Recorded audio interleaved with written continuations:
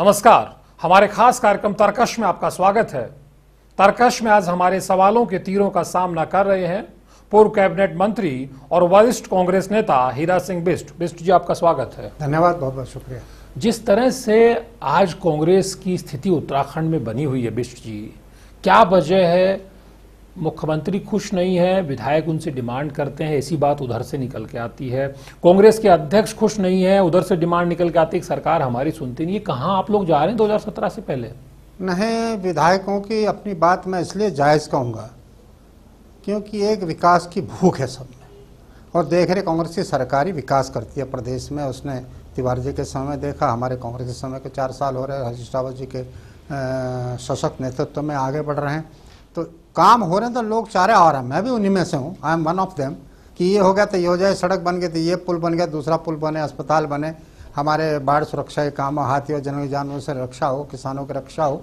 इस दिशा में लोग अपने क्षेत्र का विकास चाहते हैं। चौमुखाई दृष्टिकोण से अगर कोई डिमांड करा तो अनुचित नहीं है। वो उनका अधिकार भी है, अपने क्षेत्र के प्रति दायित्व तो भी है। मुख्यमंत्री धीरे धीरे करके सभी की मांग को सुनते भी हैं, करते भी जिन समस्याओं से केंद्र ने झटका दिया, जिन समस्या केंद्र आज सरकार को तोड़ने का काम किया, फिर दोबारा तोड़ना चाह रही है। उन परिस्थितियों में प्रदेश को विकास की ओर बढ़ने से केंद्र का, बीजेपी का रोकने का जो एक बड़ा भारी षड्यंत्र चल रहा। उसके बीच में भी काम करना मैं तो कहूँगा कांग्रेस की और मुख्यमंत्री की बहुत बड़ी एक सूझबूझ और कुशलता का परिचय है। कुशलता का परिचय का मुख्यमंत्री का। अच्छी बात है। कांग्रेस के मुखिया हैं किशोर उपाध्याय प्रदेश में। वो चिट्ठी लिखते हैं कि देखिए, हमारे कांग्रेस का डेलीगेशन आपके पास आता है। वो आपको अपना ज्ञापन देता है, आप उनका ज्ञापन नहीं लेते हैं। उनके ज्ञापन में भ्रष्टाचार की बात है। उसी भ्रष्टाचार की बात है जब राष्ट्रपति शासन के दौरान हम और मुख्यमंत्री, यानी कि प्रदेश अध्यक्ष और मुख्यमंत्री, एक डेलीगेशन लेकर के राज्यपाल के पास जाते हैं, ज्ञापन देते हैं कि भ्रष्टाचार के आरोपों की जाँच हो। वही ज्ञापन जब कांग्रेसी मुख्यमंत्री हरीश रावत के पास लेकर के जाते हैं तो वो उसको एक्सेप्ट नहीं करते हैं। ये आपके जो अध्यक्ष हैं, वो पत्र लिख के अपनी बात करते हैं। पत्र मीडिया में पहले आता है, हरीश रावत के पास, मुख्यमंत्री के पास बाद में पहुँचता तो ये कैसी स्थिति है? भाजपा को तो आप मुद्दे अपने आप दे रहे हैं। नहीं, भाजपा को मुद्दे का सवाल नहीं हमारी पार्टी लोकतांत्रिक परंपराओं की पार्टी है। संगठन और सरकार दोनों कांग्रेस की हैं तो संगठन का काम उससे बड़ा महत्वपूर्ण होता है। कांग्रेस, चूँकि सरकार और कांग्रेस की नीतियों को क्रियान्वित करने का एक माध्यम है साधन है, यह पार्टी की ज़िम्मेदारी है कि हमारा घोषणा पत्र लागू हो रहा, नहीं हो रहा। क्या क्षेत्र की पीड़ा है क्या विधायकों की पीड़ा है वो जाकर मुख्यमंत्री से करें उनको क्रियान्वित कराएँ। ये एक सामंजस्य दोनों में संगठन में और सरकार में होता और चला आ रहा है। अगर सामंजस्य नज़र आ रहा है आपको जी जो सरकार ने चिट्ठी लिखी है ये अध्यक्ष जी को और मुख्यमंत्री के बीच में जो समाचार पत्रों से हमको पढ़ने को मिला है लेकिन चिट्ठी लिखी है समस्याओं की जानकारी के लिए जो वर्तमान सरकार सरकार लेकिन पार्टी उपलब्धियों का भी तो बखान कर रही है कि हमारी सरकार ये कर रही है है, उपलब्धियों का बखान तो आप लोग तब करेंगे ना जब समस्याओं से निजात पाएँगे। आप लोग अब कांग्रेस का जो संगठन है वो कह रहा है कि हम भ्रष्टाचार के खिलाफ अपना एक विंग बनाएँगे। वो भ्रष्टाचार उजागर करें तो आप क्या कांग्रेस कांग्रेस बड़ी पारदर्शी पार्टी है। कांग्रेस ईमानदारी से भ्रष्टाचार को बर्दाश्त करने वाली पार्टी नहीं इसका देश में और प्रदेश में सशक्त नेतृत्व रहा है। उस दिशा में हम लोग आगे बढ़ रहे हैं। अगर हमारी पार्टी ने भ्रष्टाचार आज का नहीं भ्रष्टाचार बीजेपी के शासन में हुआ उसकी बात कर रही है केवल आज की नहीं कर रही है। और निश्चित रूप से भ्रष्टाचार हो रहा तो उसकी जाँच करनी चाहिए। क्या आपकी सरकार सक्षम नहीं है इस भ्रष्टाचार को नहीं पर्दाफाश करने में? भ्रष्टाचार अगर हमारी पार्टी कह रही है या बीजेपी के लोग कह रहे तो प्रमाणित तो करें कहाँ केवल भ्रष्टाचार की बात से भ्रष्टाचार नहीं हो जाता। आप मैं कह रहे हीरा सिंह बिष्ट भ्रष्टाचारी भ्रष्टाचारी बताओ तो सही कहाँ भ्रष्टाचार किया। उस भ्रष्टाचार पर निश्चित अगर कहीं हो रहा अंकुश लगाना चाहिए और दोषी अधिकारियों को दंडित दिया जाए उनको संरक्षण नहीं मिलना चाहिए। मैं इस पक्ष का हूँ। कि दोषी अधिकारियों को दंडित किया जाना चाहिए जो दंडित हो रहे हैं दोषी अधिकारी। अभी तक तो अधिकारियों को तो एक्सटेंशन मिल रहा है। नहीं एक्सटेंशन मिल रहा वो मैं नहीं कह सकता वो शासन प्रशासन के रीति नीति मैं उसका हिस्सा नहीं हूँ। वो क्यों कर रहे क्या कर रहे लेकिन ये बात ज़रूर है कि कुछ अधिकारी इस मामले में पारंगत तो है ही हैं। उन पर अंकुश लगाना चाहिए। मुझे कहने में कोई कौन दिक्कत नहीं अंकुश लगाएगा तो? हाँ, आपका संगठन मांग करता है वो आँसू हो जाती सरकार में। सरकार संगठन अपना काम कर रहा है मैं उनको बधाई दूँगा कि कम से कम भ्रष्टाचार के खिलाफ हमारी सरकार और पार्टी ने एक अपनी ज़िम्मेदारी को महसूस करते हुए ये कहा कि इन पर कार्रवाई करो और मुख्यमंत्री उसको गंभीरता से विचार कर रहे हैं। मैं समझता डेलीगेशन को मुख्यमंत्री ने कहा कि मुझे बिंदुवार पॉइंट दे दो मैं उन पर कार्रवाई करके अवगत करा दूँगा। फिर क्यों पीसीसी चीफ को पत्र लिखना पड़ रहा है कि आप ज्ञापन तक नहीं ले रहे हमारे पदाधिकारी अब ये ज्ञापन लिया नहीं लिया क्योंकि वो पीसीसी अध्यक्ष का और मुख्यमंत्री का मामला मैं तो छोटा सा आप वरिष्ठ। आप छोटे कार्यकर्ता नहीं हीरा सिंह बिष्ट जी कांग्रेस को बहुत गहराई से उत्तराखंड में जानने वाले आप नेता रहे हैं सरकारों में भी आप रहे हैं उत्तराखंड में संगठन को भी आपने जाना है राष्ट्रीय स्तर पे प्रदेश के स्तर पे तो ये जो क्या भाजपा को मौका नहीं मिलेगा जब आपके घर में झगड़ा होगा? इधर से बम्बार्डिंग होगी फिर उधर से उसका जवाबी हमला होगा तो बीजेपी को तो हमारे मौका मिलेगा कांग्रेस में लोकतंत्र है और लोकतंत्र कुछ ज़्यादा ही हमारे यहाँ। वो लोकतांत्रिक परंपरा का निर्वहन वो लोग कर रहे हैं लेकिन वो कटुता कलुषता नहीं मिलकर बैठते हैं विचार करते हैं भावी चुनौती बीजेपी को कोई मौका नहीं मिल रहा। बीजेपी तो आज बोलने की स्थिति में नहीं है बीजेपी तो खुद ही बैकफुट पर है और पाँच दरवाजे खुल गए। छह उनके मुख्यमंत्री के प्रत्याशी हैं। इसलिए बीजेपी की बात करना तो बेकार है। जब बीजेपी विपक्ष खत्म हो गया तो हमारे अंदरूनी स्वाभाविक है विपक्ष हो छह जाता है। मुख्यमंत्री के दावेदार है आपके यहाँ वन मैन आर्मी है ये भी तो ना, आप ही के लोग आपके यहाँ कहा जाता है। सक्षम लीडर है मौका आएगा तो जो सहयोग होगा उसको करेंगे निश्चित रूप से ऐसा फिर भीमलाल आर्य क्यों नाराज़ है? डॉक्टर जीतराम क्यों नाराज़ है? यशपाल आर्य हर दूसरे दिन क्यों नाराज़ हो जा रहे हैं? उनको मान मनोबल चल रही है। कुछ लोगों की आदत होती है नाराज़ होकर क्या लेना चाहते हैं? हमारी समझ में है। पार्टी है पार्टी में बड़ा त्याग और बलिदान करता है। मैं आदर आदर्श और सिद्धांत वाला व्यक्ति हूँ, कांग्रेस हमारे आदर्श सिद्धांतों की बात की। हमारे हर व्यक्ति को अपने कहने की बात होती है, लेकिन कहें वो नाराज़ होना, ना होना, ये मैं अपने अपना स्वभाव है व्यक्ति का। आज भीमला राजे तारीफ़ कर रहे हैं, आज हरीश रावत की पिता तुल्य कह रहे हैं उसको भीमलाल आर्य जी कल तक कह रहे थे मैं धरना दूँगा परसों कुछ कह रहे थे। तो अस्थिरता पैदा करने वाले लोग अपने आप को अपने क्षेत्र में कमज़ोर गले तो आप लोगों ने लगाया ना इन लोगों को। आप आप लोगों ने गले लगाया भीमलाल आर्य तो भाजपा के विधायक थे। आप लोगों ने कहा नहीं भाई आप हमारे यहाँ ज़्यादा अच्छे ना भीमलाल राय हमने नहीं कहा। भीमलाल राय ने कहा मुझे विकास चाहिए। मुझे पार्टी नहीं देखनी। मुझे क्षेत्र का विकास। विकास उसको मिल उसके एक साल पहले ही बयान हुए दो साल की मुझे विकास है और विकास मेरे क्षेत्र में हो रहा इससे मैं कांग्रेस विकास हो रहा है? तो कांग्रेस हैं नहीं हो रहा ने जो ठग लिया। अब वो अगर रोज ही बयानबाजी करें तो उसका अब कल तक कुछ दूसरा था आज दूसरा बयान आ गया। मेरे डॉक्टर जीत जीतराम की नाराज़गी जो डॉक्टर जीतराम की नाराज़गी रोज उनको मनाने के लिए मुख्यमंत्री और पूरा संगठन लग जाता है वो हर दूसरे दिन बयान आ जाता है।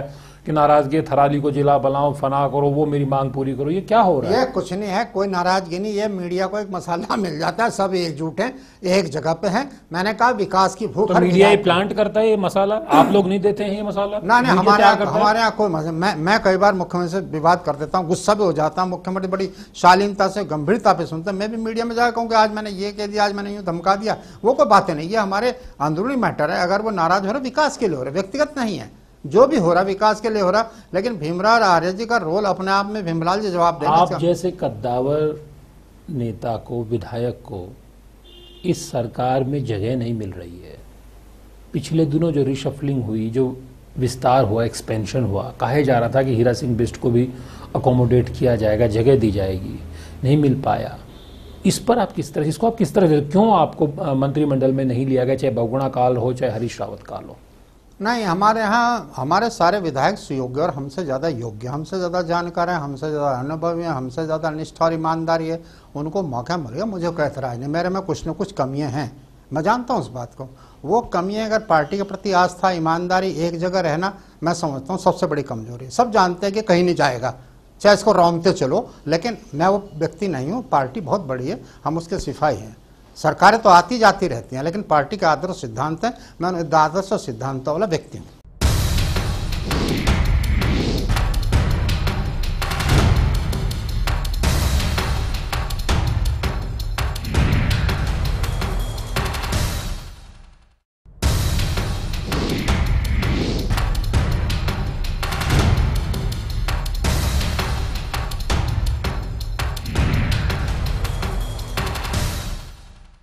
कांग्रेस का एक तबका ये कहता है कि भाई हीरा सिंह बिष्ट जी को मंत्री क्यों बनाए? वो तो बाई इलेक्शन जीत करके आए हैं। 2012 में चुनाव हार गए थे।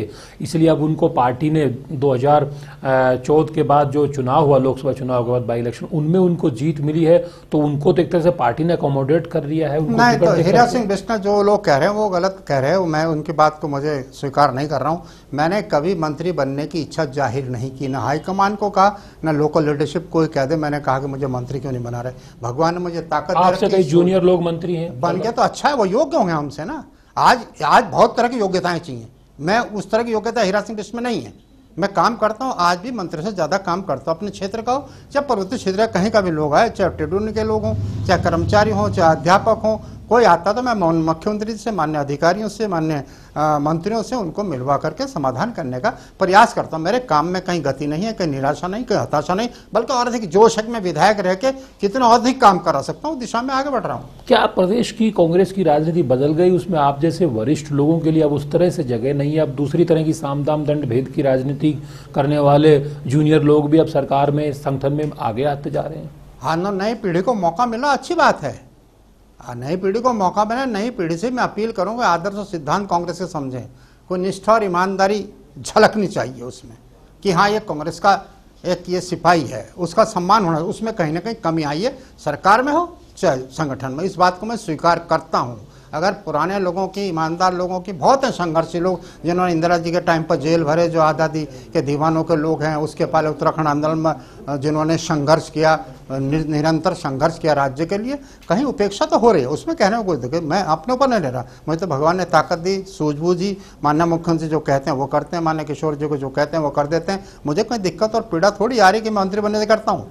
मंत्री बनने से अगर हम अ, समाज में और देश में और प्रदेश में उस मंत्रालय का लाभ जनता को न मिल पाए। मैं उसकी एक ब्लूप्रिंट न जनता के सामने रख सकूँ कि मैंने यही उपलब्धियाँ की केवल मंत्री बनकर हुटर बजाने के लिए थोड़ी मंत्री पद होता है। तो ये जो दिखाने के लिए करने ये जो मंत्री है। क्या हुटर बजा रहे मैं ये नहीं कह रहा हूँ मैंने क्या कुछ करने के लिए होता ये सब- काम नहीं कर रहे। सब मंत्री अपना अपना काम कर रहे हैं। सब हम मुझे कोई अधिकार नहीं किसी को हस्तक्षेप करने के चलते क्या पीडीएफ के चलते आप जैसे वरिष्ठ कांग्रेसियों को नजरअंदाज कर दिया गया या नजरअंदाज किया जाना मजबूरी बन अब पीडीएफ भी चूँकि शुरू से कांग्रेस की सहयोगी रही है तो उनको इस तरह दुत्कारा भी नहीं जा सकता सहयोग देता उनको सम्मान देना भी हमारा धर्म है, लेकिन कांग्रेस की उपेक्षा नहीं होनी चाहिए। किशोर उपाध्याय की कीमत पर आप लोग पीडीएफ के मंत्री दिनेश धने का सम्मान करेंगे? ये स्थिति अब बन गई है। टिहरी में दिनेश धने को लग रहा है कि कांग्रेस उनके पीछे खड़ी होगी। किशोर उपाध्याय पार्टी के अध्यक्ष उनको नहीं पता कि वो कौन सी सीट से विधानसभा का चुनाव लड़ेंगे। अब नहीं किशोर उपाध्याय जी जहाँ चाहेंगे लड़ेंगे। अध्यक्ष है अध्यक्ष का सम्मान तो हमारा हाईकमान भी करता है वो कहाँ से लड़ेंगे? लड़ाने की ज़िम्मेदारी बहुत बड़ी प्रदेश की उन पर है। वो तो यह उनका सोच है और माननीय मुख्यमंत्री की सोच है कहाँ से क्या करें? उस बारे में मैं इन प्रश्नों पर कोई कमेंट तो राज्यसभा जाना चाहते थे लेकिन राज्यसभा तो प्रदीप टमटा चले गए। कहा जा रहा है उनकी नाराज़गी की एक बड़ी वजह ये भी है। प्रदीप टमटा जी चले गए। अब ये तो हाई कमान ने और पार्टी मुख्यमंत्री जी वो उनके बीच के मामले हैं बड़े मामले हैं। उस पर मैं कमेंट नहीं करता। जो भी हुआ ठीक होगा लेकिन किसी भी सुयोग्य व्यक्ति की जो अपेक्षा रखता है योग्यता रखता है उसकी उपेक्षा संगठन और सरकार में नहीं होनी चाहिए। मैं इस किशोर उपाध्याय की उपेक्षा हो रही है इस वक्त आपको लगता है? नहीं किशोर उपाध्याय जी की उपेक्षा मैं नहीं महसूस करता हूँ चूँकि प्रदेश की अध्यक्ष है, बहुत बड़ी ज़िम्मेदारी उनके ऊपर है। उस ज़िम्मेदारी का वो निर्वहन कर रहे हैं। अभी गाँव गाँव प्रदेश में, ब्लॉकों में जाकर के संगठन को मजबूती और सत्रह की चुनौती के लिए वो हिमालय की तरफ़ से खड़े हैं। इसलिए मैं समझता हूँ कि हिमालय की तरह भाजपा के सामने खड़े हैं मुख्यमंत्री के सामने खड़े हैं? ना ना भाजपा के सामने खड़े हैं। बिल्कुल भाजपा के सामने मुख्यमंत्री के सामने को खड़े मुख्यमंत्री भाजपा के लिए तो पिछले 15-20 दिनों में दो महीनों में कोई उनका बयान आया नहीं उल्टा उन्होंने ये कहा कि भाई हरक सिंह रावत जी को लेकर पहले जाँच होनी चाहिए उनको दोषी नहीं किया जाना चाहिए। आपकी महिला कांग्रेस उनके पुतले फूक रही थी हरक सिंह रावत के और किशोर उपाध्याय ने कहा कि नहीं जाँच से पहले हम उनको दोषी नहीं मानेंगे। नहीं ये तो ये, ये तो स्वाभाविक है हम दोषी कैसे कहते हैं जब तक कोई जाँच नहीं होता। मेरे ऊपर कोई आरोप है। जब तक दोष सिद्ध है तो मुझे आरोप थोड़ी कह देंगे। ये तो तथाकथित आरोप सब लगा रहे हैं। तो इसलिए जो बीजेपी ने किया, इस प्रदेश में नहीं, देश में एक नज़ीर बनी है। बीजेपी को ऐसा झटका लगा, ऐसा झटका लगा, बीजेपी मेरे ख्याल से 10 साल उत्तराखंड में उभरेगी नहीं। जो उन्होंने गलत काम किया, लोकतंत्र की हत्या की, गिर चुनी सरकार गिराई, उसके बाद भी अब वही अभियान उन्होंने उत्तर प्रदेश में शुरू किया है। खरीद फरोख्त का किया गया और एक माहौल बनाने का, वो उत्तराखंड में कर बीजेपी ने जो किया आपका कहना है कि जनता उनको माफ़ नहीं करेगी, दस साल उभरेगी नहीं, वो ठीक है, लेकिन आपकी पार्टी के एक पूर्व मुख्यमंत्री, एक कैबिनेट मंत्री हरक सिंह रावत और तमाम कुल मिला के दस विधायक आपकी पार्टी के बीच मझधार में आप लोगों को छोड़ के चले जाते हैं। क्या आप लोग इसका विश्लेषण नहीं करेंगे? क्या आप लोगों को आत्मचिंतन की ज़रूरत नहीं कि भी क्यों तीन बार का विधायक चैंपियन था? आपके रायपुर से उमेश काऊ थे विजय बहुगुणा को आपके कांग्रेस आलाकमान ने मुख्यमंत्री बनाया था हरक सिंह रावत को मंत्री बनाया था नेता प्रतिपक्ष थे वो ये सब लोग चले गए तो क्या कहीं ना कहीं कांग्रेस में इंट्रोस्पेक्शन की ज़रूरत नहीं है? नहीं मैंने ये बात पहले भी कही थी कि हमको भी बैठक आपस की बैठक में हमको भी चिंतन मनन करना चाहिए क्यों गए हैं? क्या कारण है? ये नहीं कि दस लोग चले गए पार्टी टूट के बड़ी बात है लेकिन छत्तीस से छब्बीस पे आ गया छत्तीस से छब्बीस पे लेकिन व्यक्ति का पर्सनल करेक्टराइजेशन करना भी ज़रूरी है। कितने लोग आस्था से कांग्रेस में थे? कितने लोग दल बदल कर आए हैं? कांग्रेस ही कभी नहीं जाएगा। जिसको आदत है आ, सत्ता में रहने की कुर्सी की भूख है कुर्सी की भूख विकास की भूख नहीं। तो ज़्यादातर लोग कुर्सी की भूख वाले थे। जरा इनका देख लीजिए कोई इंडिपेंडेंट था कोई बीजेपी कोई बसपा कोई पीडीएफ को कहाँ कहाँ से घूम के तो सारे लोग लगभग सारे लोग आए थे तो कांग्रेस का कोई व्यक्ति कांग्रेस की विचारधारा का व्यक्ति जाता नहीं। कितना भी पीटो उसको कितना भी छेतो कितना वो करो वो कांग्रेस का जो एक बहुत बड़ा करेक्टर है बहुत बड़ा आदर्श सिद्धांत है कुर्बानी बलिदान की पार्टी है वो वो नहीं जाएगा। अब ये लोग गए क्यों गए तो क्या तो गए? लेकिन निश्चित रूप से इस बात को हैंडल किया जा सकता था मैं इस मत कहूँ अब बीजेपी कहती है कि अभी फला विधायक कांग्रेस का हमारे संपर्क में है चार हैं तीन हैं दो हैं पाँच है संपर्क में है तो क्या कांग्रेस संगठन और सरकार अपने विधायकों के जो ग्रीवियांसीज हैं उनको एड्रेस नहीं कर पा रहा जिसके चलते भाजपा को ये कहने का मौका मिल रहा है कि दो तीन पाँच फला फला हमारे कौन? जाता जिसको पैसे का लालच होगा जब पहले थैले खोले उन्होंने बीजेपी ने, अब भी लालच देंगे। बहुत दिया हमको भी, बहुत लालच दिए। लेकिन वसूलों के सामने हम डिगने वाले नहीं है ना, कांग्रेस ही डिगेगा। और सबको पता है, भविष्य में सरकार कांग्रेस की बननी, कांग्रेस पार्टी विजयी होगी। बीजेपी के पास तो ये रहा, उसको खरीद लिया, उसको तोड़ दिया, उसने ये बयान दे दिया, उसने ये बयान दे दिया। आपस में बीजेपी का हाल देखो ना। अभी रायपुर की पर्दाफाश रैली करी। अब लोग खाने खाए ना, आए थे जब मुख्य अतिथि का भाषण ही नहीं सुना, खंडूर जी का, हमें भी तकलीफ़ हुई, और सब खाने पर लिपट गए। अब खंडूर जी जो कि पूर्व मुख्यमंत्री, पूर्व सैनिक अधिकारी रहे हैं, उनका अलग सम्मान है, और उनको जाना पड़ा छोड़कर, क्योंकि कुछ लोग हैं जो स्वाभिमान की लड़ाई लड़ते हैं। आपको लगता है कि भाजपा उस तरह से कांग्रेस के लिए चुनौती नहीं है दो हज़ार सत्रह में? मेरे ख्याल से फ़िलहाल तो कोई चुनौती भाजपा की नहीं भाजपा अंतर कलह से इस प्रकार जूझ रही है। इस तरह मुख्यमंत्री बनकर के वहाँ खड़े हो गए कई कई लोग पाँच छः लोग, कि वो उसी से नहीं जूझ पा रही इसलिए भाजपा हाईकमान का भी विश्वास लोकल लीडरशिप पे आज बहुत कम है। उनको अध्यक्ष बनाने को कैंडिडेट नहीं मिल रहा। वही विपक्ष के नेता वही अध्यक्ष हैं। ये हालत तो भाजपा की किसे बनाए? हरिद्वार में भी तू तू मैं खुलेआम हो गई। तो भाजपा ये अच्छी बात नहीं। मैं कहता हूँ विपक्ष एक सशक्त होना चाहिए जिससे हमारे पर नियंत्रण है सरकार पर किसी की भी सरकार हो। यह दुर्भाग्य है कि विपक्ष अनियंत्रित बंटवारा हो रखा इसलिए हमारी आपस में कभी कभी हो जाती है वो इसलिए आप लोग आपस में विपक्ष ढूंढ लेते हैं, विपक्ष की भूमिका हमें करनी पड़े क्योंकि विपक्ष नहीं है तो टकराव हो और ये विकास के लिए एक अच्छी परंपरा है कोई दिक्कत नहीं।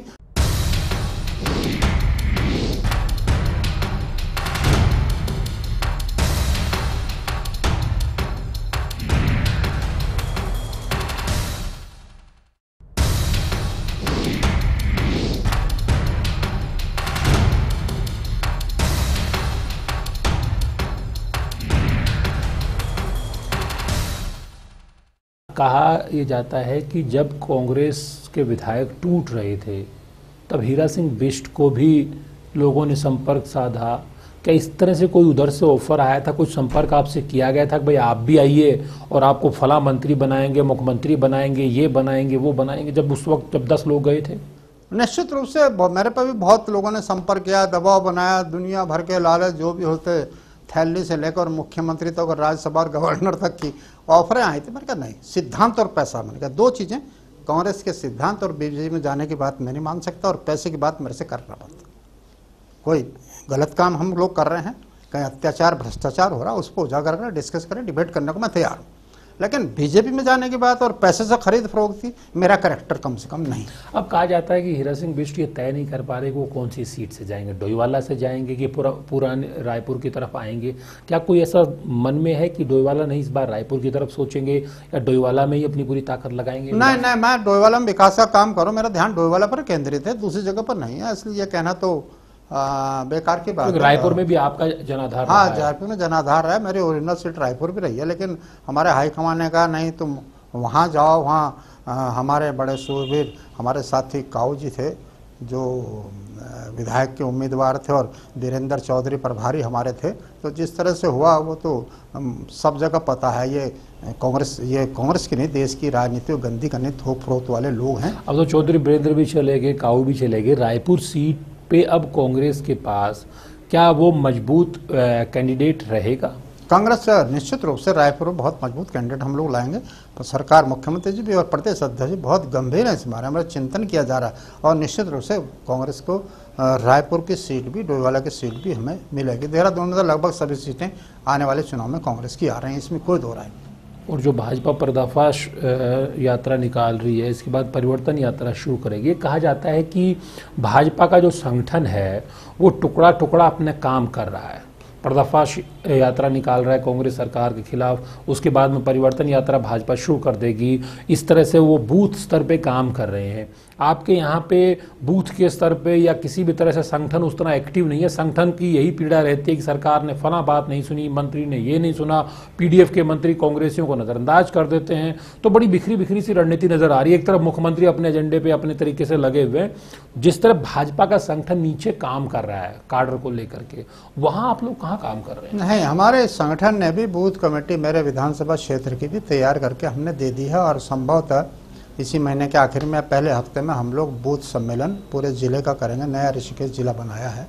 और इसी तरह, पछुआदून का जो जिला बना है, महानगर का बना है, पूरे प्रदेश में हरिद्वार में भी उन्होंने मीटिंग कर दी, अध्यक्ष जी ने।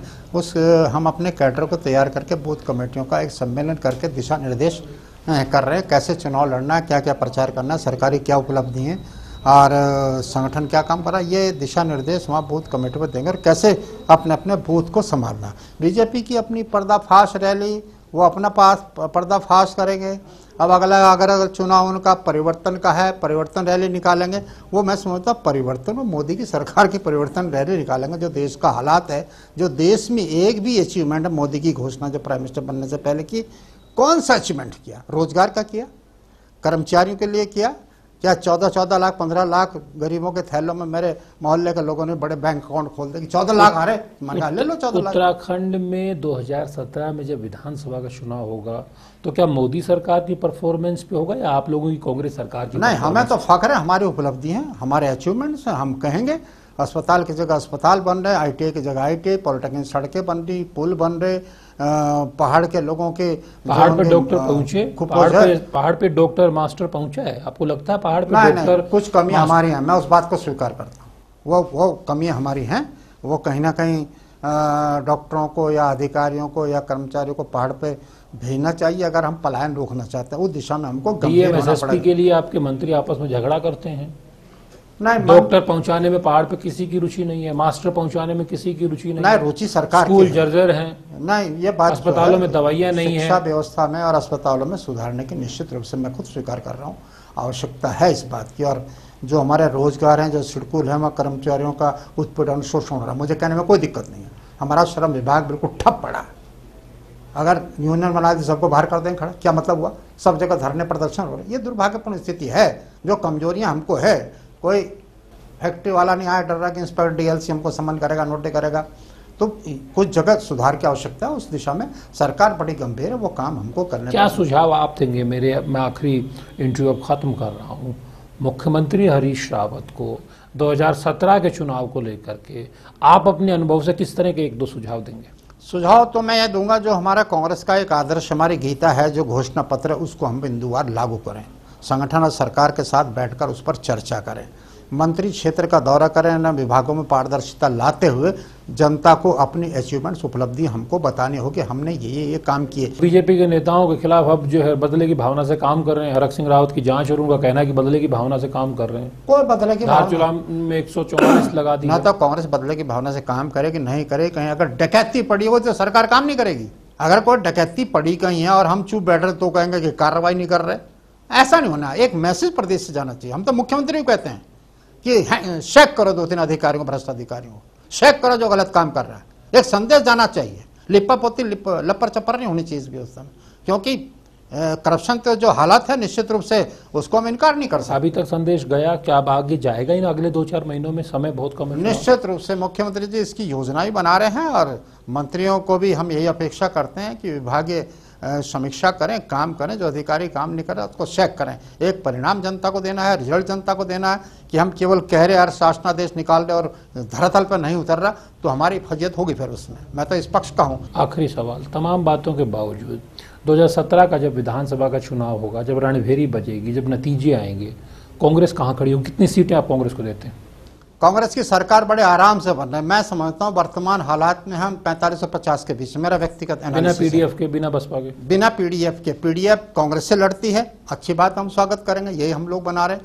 इंडिपेंडेंट लड़ती है तो पार्टी और सरकार नीति बनाएँगे कि उनके खिलाफ कैंडिडेट खड़ा करना नहीं करना क्या करना है। वो तो नीति नीति का बात बड़े नेता हमारे तय करेंगे जो भी राज्य हित में होगा संगठन के हित में होगा। वो लोग, वो निर्णय लेंगे और निश्चित रूप से सत्रह में बीजेपी तो कहीं दिखाई नहीं दे रही, वो हमारे लिए भी दुर्भाग्यपूर्ण है। जब कहीं नहीं दिखाई देगा तो अंतर विरोध, अंतर कल और बहुत सारे नेता खड़े हो जाएँगे। हम लड़ेंगे हम लड़ेंगे, पता लग रहा बीजेपी नहीं है। ये दुखद अध्याय अगर बीजेपी सशक्त हो, एकजुट हो, हमारे पर भी अंकुश लगा, विकास के कामों का, लेकिन बीजेपी का काम केवल आलोचना करने का है। अपना गला नहीं झाँक रहे जब उनका शासन था, क्या कुछ इस प्रदेश में नहीं हुआ, जिसका मैं उल्लेख करते भी शर्म आती है कि देवभूमि में ऐसे ऐसे काम हुए। और उसको हमको अंकुश लगाना चाहिए। तो तिवाड़ी जैसा शासन पाँच साल का शालीनता से गंभीरता से विकास की जो आधारशिला तिवाड़ी सरकार में रखी गई थी उसी पे भविष्य की सुंदर सी मंजिल बननी चाहिए थी। उसमें कहीं ना कहीं रुकावट झंझावात अड़ंगे अब चुनाव यह आ रहा तो अब हड़तालें धरने प्रदर्शनों का दौर बीजेपी लोगों को भड़का भड़का कर अपने आप कुछ नहीं किया। बीजेपी पूरे देश जानता है बीजेपी कभी कर्मचारियों के हितों का कोई काम आज तक नहीं हमसे बातचीत करने के लिए बहुत बहुत धन्यवाद। थैंक यू बहुत बहुत शुक्रिया। बहुत बहुत धन्यवाद। तो आपने देखा किस तरह से हीरा सिंह बिस्ट की खासियत भी है कि वो बहुत बेलाग और बेबाक बातचीत करते हैं। शायद आज की राजनीति में बहुत हद तक बहुत लोगों को यही बेबाक और बेलाग जो है बातचीत या इस तरह का अंदाज पसंद नहीं होता। इसी के चलते कुछ चीज़ें उनको लेकर के भी इस पूरे सरकार के दौरान देखने को मिली हैं, लेकिन उन्होंने साफ़ तौर पर कहा है कि अभी भी सरकार को, कांग्रेस संगठन को संभलना होगा। भाजपा से ज़्यादा बड़ी चुनौती कांग्रेस के भीतर ही है। नमस्कार।